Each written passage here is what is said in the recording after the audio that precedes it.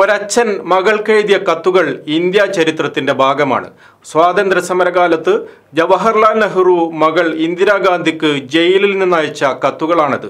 അത് വായിച്ച് വളർന്നതുകൊണ്ടുകൂടിയാണ് ഇന്ദിരയും ഇന്ത്യയിലെ പിന്നീട് വന്ന തലമുറകളും ഇന്ത്യ ചരിത്രത്തിനൊപ്പം നടക്കാൻ പഠിച്ചത്. ആ നെഹ്റുവിന്റെ മകളുടെ മകന്റെ മകൻ രാഹുൽ ഗാന്ധിക്ക് വർത്തമാനകാല ഇന്ത്യ ചരിത്രത്തിൽ ഉത്തർപ്രദേശിലെ ഒരു വിദ്യാർത്ഥി സോഷ്യൽ മീഡിയയിലൂടെ ഒരു കത്തയച്ചിരിക്കുകയാണ്. ആ കത്ത് ആരോ മലയാളത്തിലേക്ക് പരിഭാഷപ്പെടുത്തിയതും ഇപ്പോൾ ഫേസ്ബുക്കിൽ വൈറലാവുന്നു. അത് അതെഴുതിയത് ഒരു വിദ്യാർത്ഥി തന്നെയാണോ എന്ന് നമുക്കറിയില്ല. പക്ഷേ ആരാണ് എഴുതിയതെങ്കിലും വർത്തമാനകാല ഇന്ത്യൻ അവസ്ഥയോടുള്ള പുതുതലമുറയുടെ പ്രതികരണമാവുകയാണത്. രാഷ്ട്രീയമായ അരക്ഷിതാവസ്ഥയിൽ നിന്നുണ്ടാവുന്ന ആശങ്ക ജനിപ്പിക്കുന്ന നിരാശയുണ്ടതിൽ.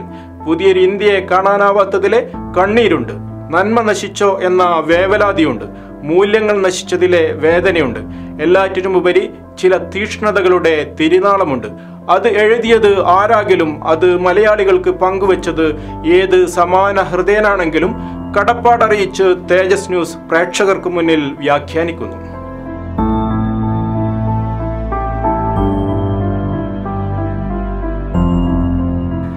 രാഹുൽ ഗാന്ധിക്കുള്ള ആ കത്ത് തുടങ്ങുന്നത് ഇങ്ങനെയാണ്.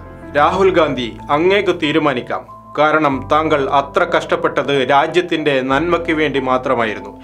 ഇത്തരം ആത്മാർത്ഥത ഇന്നത്തെ നമ്മുടെ രാജ്യത്തിന് പഴഞ്ചനായിരിക്കുന്നു. പ്രിയ രാഹുൽ നിങ്ങൾക്ക് തെറ്റി. നന്മയും തിന്മയും തമ്മിലുള്ള പോരാട്ടമാണ് രാഷ്ട്രീയമെന്ന് ധരിച്ച നിങ്ങൾക്ക് തെറ്റുപറ്റി. ഇന്ന് തിന്മയും തിന്മയും തമ്മിലുള്ള പോരാട്ടമാണ് ഇന്ത്യൻ രാഷ്ട്രീയം. വലിയ തിന്മയും ചെറിയ തിന്മയും തമ്മിലുള്ള പോരാട്ടം. കത്തിന്റെ ഈ ഭാഗം വായിക്കുമ്പോൾ നമുക്ക് ആത്മപുച്ഛം തോന്നാതെ വയ്യ. കാരണം കഴിഞ്ഞ എഴുപത് വർഷത്തെ സ്വതന്ത്ര ഇന്ത്യയുടെ രാഷ്ട്രീയം ഒരു കുട്ടിയെ സ്വയം പഠിപ്പിച്ചിരിക്കുകയാണ്. തിന്മയും തിന്മയും തമ്മിലുള്ള പോരാട്ടമാണ് ഇന്നത്തെ ഇന്ത്യൻ രാഷ്ട്രീയമെന്ന്. അതിൽ വലിയ തിന്മയും ചെറിയ തിന്മയും എന്ന വ്യത്യാസം മാത്രമേ ഉള്ളൂവെന്ന്. ഇതിന് ഉത്തരം പറയേണ്ടത് ആരാണ്? ആ കുട്ടിയുടെ രക്ഷിതാക്കൾ എന്ന് പറഞ്ഞ് ഒഴിഞ്ഞു മാറാനും കുറ്റപ്പെടുത്താനും ഒരു കൂട്ടർക്ക് മാത്രമേ കഴിയൂ.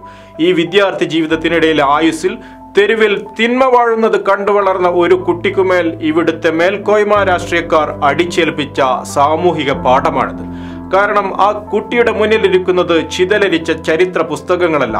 ആധുനിക സാങ്കേതിക വിദ്യ തുറന്നിട്ട ഒന്നും ഒളിക്കാനാവാത്ത വസ്തുതകളാണ്.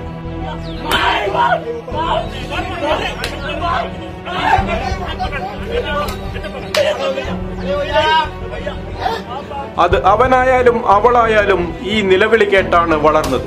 ഇതാ മനുഷ്യത്വം ഇങ്ങനെ തെരുവിൽ കൊല ചെയ്യപ്പെടുന്നത് കണ്ടാണ് വളർന്നത്. ജാതിയുടെ വർണത്തിന്റെ വംശത്തിന്റെ നാൽക്കാലി പശുവിന്റെ പേരിൽ പോലും പച്ച മനുഷ്യനെ പട്ടാപ്പകൽ തല്ലിക്കൊല്ലുന്നത് കണ്ട് കലങ്ങിപ്പോയ ഇളം മനസ്സാണത്. ഒരുപക്ഷെ കടക്കണിയിലായി ഗതിമുട്ടി ആത്മഹത്യ ചെയ്യേണ്ടി വന്ന ഒരു ഇന്ത്യൻ കർഷകന്റെ അയൽവാസിയോ ബന്ധുവോ മകനോ മകളോ ആവാം ആ കത്തെഴുതിയത് നോട്ട് നിരോധന കാലത്ത് ബാങ്കിന് മുന്നിൽ ക്യൂ നിന്ന് തളർന്നു വീണ് മരിച്ച ഇന്ത്യക്കാരന്റെ മകളുടെ വിവാഹം മുടങ്ങിയതിനോ മരുന്ന് വാങ്ങാൻ കാശില്ലാത്തതിനോ ബാങ്കിന് മുന്നിൽ ആത്മാഹുതി ചെയ്ത പൗരന്റെ രാജ്യക്കാരനാണിത്. ഒരു എട്ട് വയസ്സുകാരിയായ അച്ഛനും മകനും മരുമകനും പൂജാരിയും പോലീസും ചേർന്ന് ബലാത്സംഗം ചെയ്ത് കല്ല് തലയിലിട്ട് കൊന്ന് അമ്പലത്തിൽ ഒളിപ്പിച്ചത് ഈ കത്തെഴുതിയ കുട്ടിയുടെ ജീവചരിത്രത്തിന് മുന്നിലിട്ടാണ്. ഇര മുസ്ലിം ആയതുകൊണ്ട് മാത്രം പ്രതികളെ രക്ഷിക്കാൻ മന്ത്രിമാരും എം എൽ എമാരും ദേശീയ പതാകയുമേന്തി തെരുവിലിറങ്ങി നടത്തിയ പ്രതിഷേധം കണ്ട് കണ്ണു തള്ളിപ്പോയ കുട്ടിയാണിത്. കോടികൾ തട്ടി വിജയ് മല്യമാരും നീരവ് മോദിമാരും സുരക്ഷിതരായി രാജ്യം വിട്ടത് ഈ വിദ്യാർത്ഥിയുടെ തലക്ക് മുകളിലൂടെ മൂളിപ്പറന്ന വിമാനമേറിയാണ്. നിയമവാഴ്ചയുടെ ഇന്ത്യയെ തിരിച്ചുപിടിക്കാൻ ശ്രമിച്ച നിയമപാലകരും നീതിപാലകരും രായ്ക്ക് രാമാനം ഇല്ലായ്മ ചെയ്യപ്പെട്ടത് ഈ യുവത്വത്തിന്റെ കൺമുന്നിലാണ്.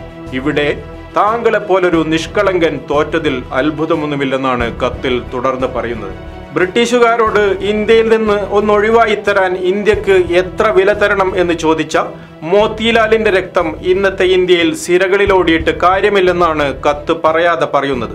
മോത്തിലാൽ ചോദിച്ചതുപോലെ ഇന്ത്യയിൽ നിന്ന് ഒന്ന് ഒഴിവായി തരാൻ എന്തു വില തരണമെന്ന് ഭരണകൂട ഭീകരതയോട് ചോദിച്ചിട്ട് കാര്യമില്ലെന്ന സൂചനയും ഉപദേശവും കത്ത് നൽകുന്നു.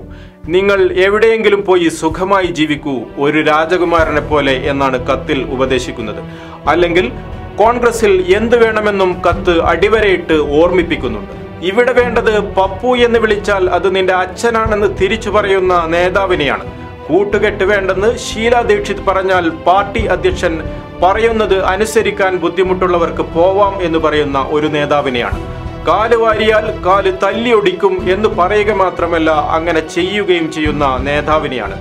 താങ്കൾക്ക് അതിന് കഴിയില്ല. കാരണം താങ്കൾ ഒരു മനുഷ്യസ്നേഹിയാണ് ജനാധിപത്യ മൂല്യങ്ങളിൽ വിശ്വസിക്കുന്ന ആളാണ്.